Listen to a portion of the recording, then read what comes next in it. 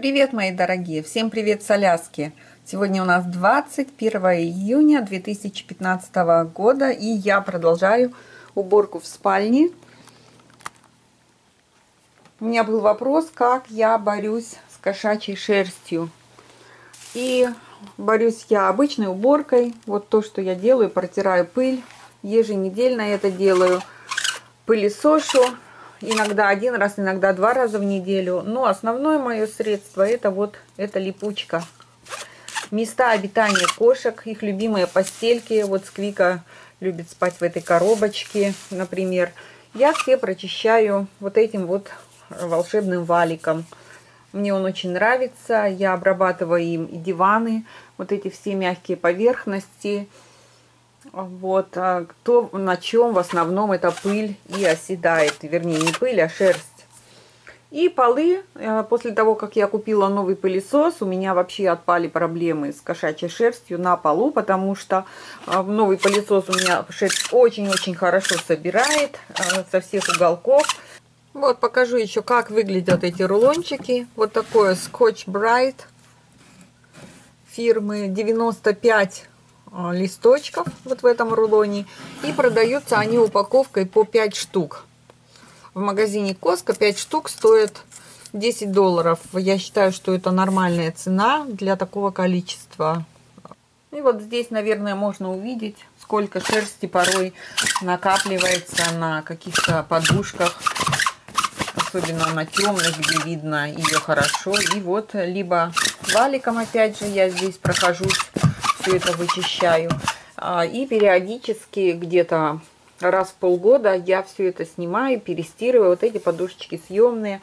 Вот это вот одеялко с Квика спит. Ну, одеялко почаще, где-то, может быть, раз, два раза. Вернее, раз в месяц, раз в два месяца я все это перестирываю. В общем, вот таким образом я борюсь с кошачьей шерстью. Я уже привыкла и, в принципе, мне все делаю на автомате. Мне это не доставляет труда большого. Хочу провести эксперимент. После того, как я пропылесосила ковер под диваном, я беру вот этот вот валик и попробую подсобирать шерсть кошачью. И посмотрите, на щеточке ни одной волосинки. То есть вот насколько здорово этот пылесос Shark. Вот он мой любимый. Как он хорошо собирает всю грязь, пыль, шерсть. И получается после него просто идеальное ковровое покрытие, идеально чистое. Также в комплект к пылесосу идет неимоверное количество всяких разных насадочек. Вот эти мне помогают вычищать пыль и шерсть из каких-то щелей. Вот, например, вдоль плинтусов. Вот здесь. Вот эта маленькая щеточка тоже на все случаи жизни и вот такая идет э, щетка специально для борьбы с кошачьей э, шерстью, ну или с собачьей, с шерстью животных. Я не скажу, что я пользуюсь ей каждый день или даже каждую неделю, но периодически я ее э, подсоединяю и прохожусь вот по каким-то таким поверхностям, типа диванов, одеял, подушек и так далее, по мягким поверхностям. Есть еще вот такая щетка. Я ей пользуюсь редко, потому что у меня в основном ковры, а вот эта щеточка, она для гладких поверхностей. А можно ею чистить на кухне или в туалете. Но в основном я справляюсь, там у меня есть такая влажная щеточка. Поэтому вот эту щетку я использую крайне редко.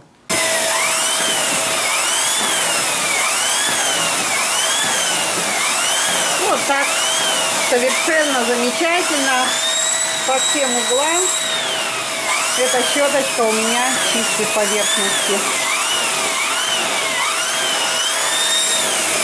Дальше я перехожу на окошечко и столик. Окошечко буду мыть только с этой стороны.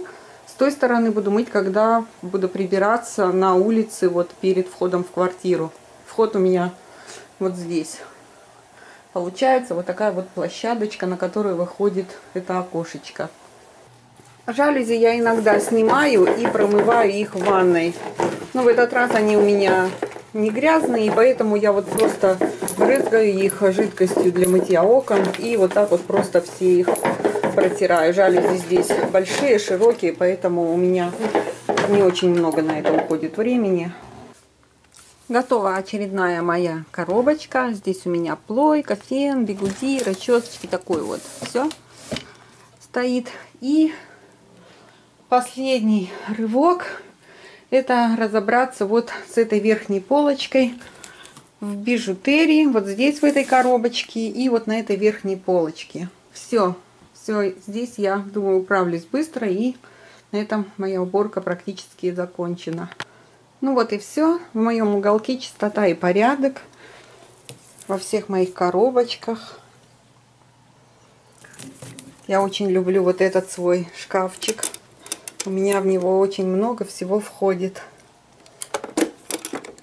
Здесь колечки. Здесь браслетики. Вот так. Ну, а здесь то, что я пользуюсь постоянно, на каждый день, чтобы мне не лазить никуда, мне удобнее вот в этой коробочке, оно у меня все лежит. В общем, вот так здесь получилось. И маленькие лаки я все повыбрасывала, мне они уже совершенно не нравятся, как ложатся, как э, держатся, все, все выкинула. А вот эти оставшиеся лаки я решила так, буду брать по одной бутылочке, красить, и если мне не нравится, тут же выкидывать, не ставить обратно, и таким образом я избавлюсь от ненужных лаков и больших тоже. Ну и теперь остается только вот этот шкаф у меня, он пустой, поэтому уборки мне там немного. Сниму вот эту шторку стирать, тоже. Протру на полочках, протру здесь. И вот там у меня коробочки с рукоделием, со спицами, с нитками, но я ими очень редко пользуюсь, там практически все а, как и было, чисто, поэтому я быстренько просто пройдусь, пробегусь и обратно их туда же поставлю. Вообще шторку здесь можно не вешать и вовсе, потому что вот такая раздвижная дверь, и она закрывается полностью, и шторка тут не нужна. А, я когда пользовалась этим шкафом, просто мне было удобнее, что он открыт, и со шторочкой мне казалось уютнее. Ну вот, в принципе, можно сейчас ее и не вешать, просто закрыть дверь и все. Ну вот и все. Закончила с этой комнаткой я. Комната, конечно, очень темная. И моей ошибкой было то, что я ее покрасила в такой темный цвет. Я безумно люблю такое вот сочетание цветов. И оно, конечно, красиво, но не в такой темной комнате, как эта. Вот сейчас даже с поднятыми жалюзи днем здесь довольно-таки пасмурно. А что говорить, когда жалюзи опущены и повешены шторы – не знаю, может быть, не вешать здесь шторы. Но мне вот как-то не нравится, неуютно без них. Поэтому, в принципе, в этой комнате никто никогда не находится. Она стоит пустая. Только лишь когда приезжает Рикардо, то я в этой комнате еще нахожусь какое-то время. В следующий раз я, конечно, покрашу ее в какие-нибудь более светлые цвета. Ну, а пока она будет такой, какая она есть. Ну и вот, может, еще с опущенными жалюзями она смотрится, конечно, гораздо более уютно, чем голые окна. Я вот думаю, может быть, ее вот так без штор с жалюзями и оставить. В принципе, неплохо получилось. Покажу вам, как продвигается моя вышивка. Такая уже большая, что в экран не входит. Это вот вся длина я дошла до краешка, вот здесь. По-прежнему мне очень нравится вышивать, я прямо не могу оторваться. Вышивка идет крестиком, вот основные какие-то детали, и полукрестиком фон. А, обшивки очень много задним стежком.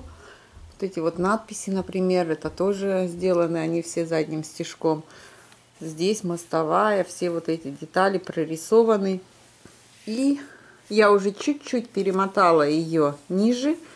Вот край здесь у меня. И пошла вышивать следующую полосу с левого угла. Вышиваю я либо слева направо, либо сверху вниз. Ой, снизу вверх. Слева направо, снизу вверх. Вот так вот, как бы по диагональке. А это очень хорошо для полукрестиков, особенно такое направление вышивки. И вот у меня уже здесь прорисовывается такой магазинчик с кучей мелких деталей. Я их тоже уже обшила задним стежком. Мне очень нравится, очень. Я не могу сижу часами, не могу просто оторваться от этой вышивки. Вот. И вот это вот у меня, видите, здесь нолик, это ровно середина картины. Вот я сейчас хочу прошить где-то примерно до середины, может быть, чуть выше, вот э, если по рисунку там идет у меня. Ну и вот, может быть, еще раз ее во всей длине. И покажу еще раз, может быть, вот так пройдусь по картине. Вот так вот еще входит в экран столики там в кафе уже появились. Вазы вот эти мне нравятся с цветами. Вот такая моя вышивка. Растет она довольно-таки быстро. Прямо можно сказать на глазах. Девчонки, очень много вопросов по вышивке, как она продвигается. Поэтому вот тот кусочек, который вы только что посмотрели, он на самом деле со вчерашнего дня. Я хотела его вставить во вчерашнее видео, но оно получилось очень длинное, и я решила этого не делать.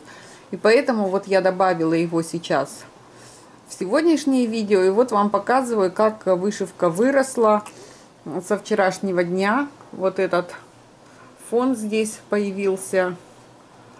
А, Еще нет обшивки задним стежком, то есть он будет выглядеть по-другому.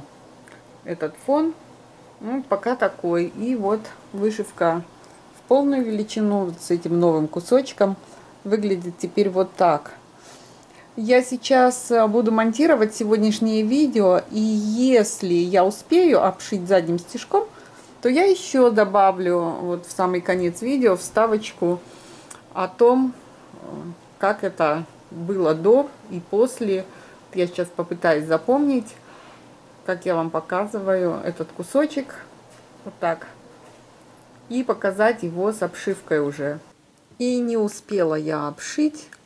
Э, очень долго это получается, очень много времени уходит. Обшивка идет вот так вот в две ниточки, что усложняет еще больше работу. Вот эти вот все окошечки. Вот все вот так вот э, со всех сторон сшивается и выделяется. Гораздо лучше, конечно, смотрится. Ну, уже в следующий раз я вам покажу, как это все выглядит с обшивкой. И вот напоследок, как выглядит э, картина в данную минуту.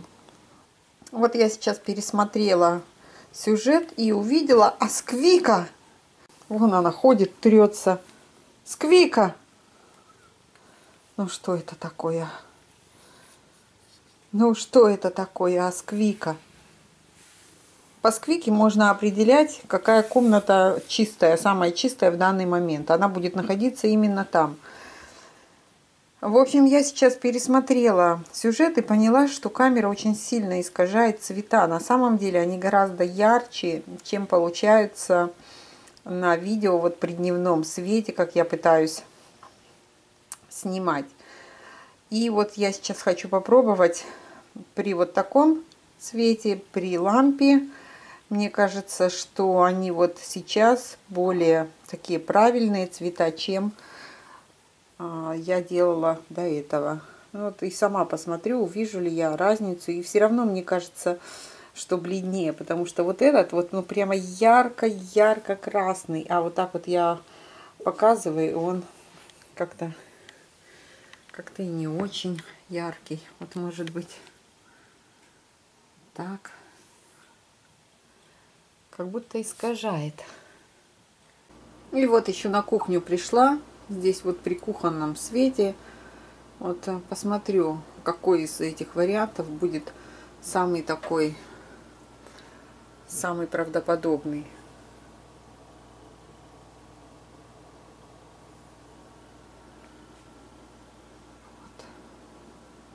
Ну и напоследок окончательный вариант спальни. Все-таки повесила я шторы Толстые вешать не буду. Вот такие вот тоненькие тюль.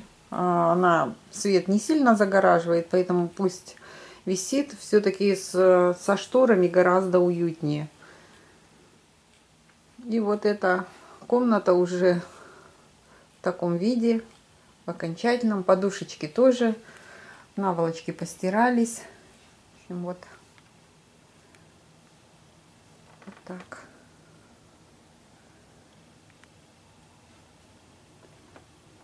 Ну и все. На сегодня все. Я с вами прощаюсь. Всех целую, всех люблю. Всем желаю счастья, удачи, любви, здоровья, хорошего настроения. И пока-пока-пока.